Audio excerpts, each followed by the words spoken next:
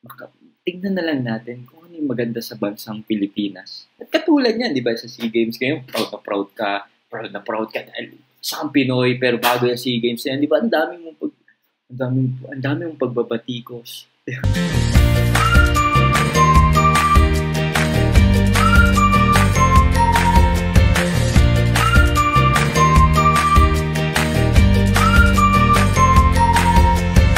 dugong magiting, dugong matapang, dugong makajos. Yan ang dugong Pilipino. Hi, my name is Adrian Milag and welcome to my channel. Alam mo, Pilipino ka ba? Alam mo kung Pilipino ka, sobrang proud ako sa'yo na ikaw ay isang Pilipino. Katapos lang ng opening ceremony ng SEA Games, ito lang sa Philippine Arena. And grabe as in, hindi ako makapaniwala. I mean, sobrang ako na believe, I mean, pinapanood ko yung yung yung opening ceremony. Grabe as in, wow, parang I'm so proud to be a Filipino. World class tayo. I mean, na talagang mapapagmalaki natin yung, nangyari sa SEA Games. And wala na, nakakaiyak na. I mean, kahit wala ka dun sa, sa exact na ceremony na yun, kahit nanonood ka, ramdam na ramdam mo yung spirit, yung, yung, yung passion ng mga atleta natin, yung, yung alam mo yun, yung kakatuwang makita na united tayo. United na naman tayo as one country. And that's the spirit of Filipino. Alam mo, alam mo ang partido mo, dilaw, asul, itim, pula, di ba? Kung ano man partido mo. Kahit ano, sino pa ang nakaupo dyan sa Malacanang, lagi mong tatandaan na isa kang Pilipino and we win as one. Diba? Ano man yung resulta, magiging resulta ng, ng SEA Games, itong SEA Games ngayon, we, we will win as one. And we can also lose as one. And what's my point, di ba? Bakit ko sinasabi, we can also lose as one? Alam mo, marami kasi sa atin, mga Pilipino, hanggang ngayon, di ba? Hindi ako hindi, sana hindi ako magmukha namumulitika dito, pero hindi ganon. Uh, wala akong uh, kinakampiyan ng politika, but puro tama na yung,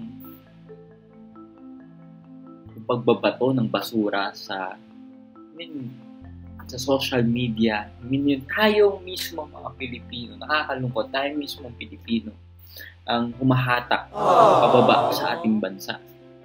Alam mo,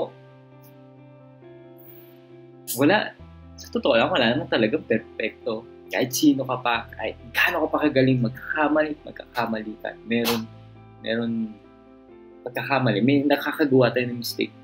Pero doon tayo natututo sa mga pagkakamali na yon. And ano yung point ko? Instead of throwing garbage sa social media, yung pagbabatikas mo sa bansang Pilipinas, di ba? Mas, mas okay siguro yung response natin, magiging response natin, ano kaya yung mako-contribute natin sa bansang Pilipinas to make this country a better place? To be a better Philippines.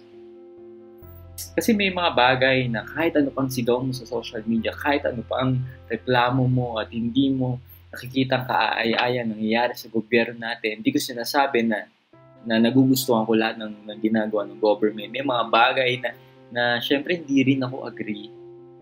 Pero ano ba yung magagawa ko bilang isang Pilipino? Kasi yung mga bagay na yun, hindi ko na yung control. Diba? Hindi ko na yung control. Wala naman din ako presidente, hindi naman ako vice-president, hindi naman ako senador, hindi naman ako congressman, hindi ko na yung control. Pero ano ba yung mga bagay na control ko? Pwede kong gawin, makaambag ako bilang isang Pilipino that I can contribute on a positive way instead na magsabi ako, walang puan ba naman ng Pilipinas ito? Pangit ng ginawa sa SEA Games. Bakit ganyan? Hindi, pin, uh, kick mo lang yung pinapakain sa mga atleta. Ano ba yan? Grabe. Instead of yun, sabihin natin, bakit di na lang tayo mag-contribute na makakabuti sa bansang Pilipinas? Your words are powerful. Tanda mo, words are powerful. Di ba yung ingay na ginagawa natin sa social media, bakit di natin i-reverse yun? Nagawin natin.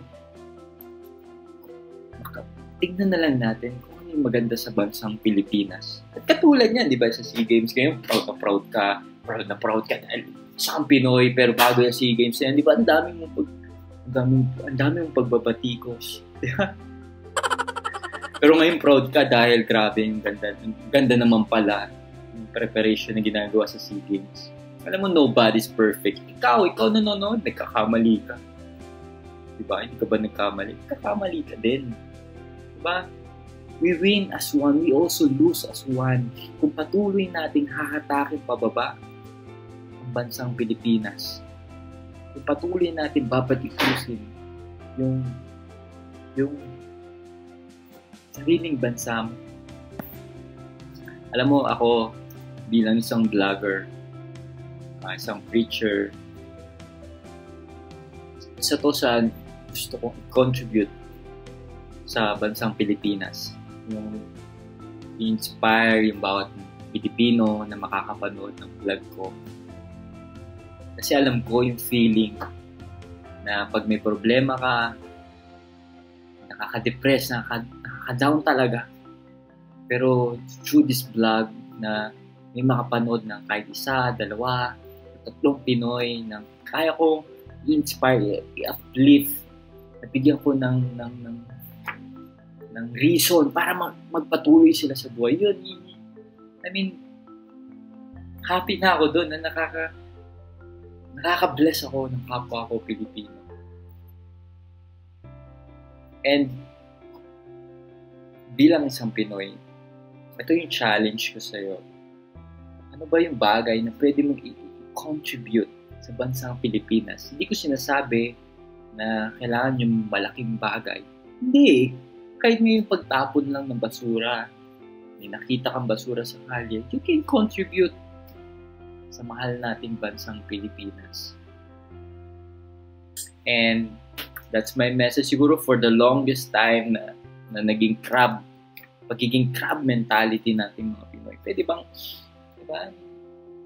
This time naman na i-uplift na natin yung moral ng bansang Pilipinas. Kahit na hindi mo nakikita maganda yung pamamalakad ng, ng gobyerno to.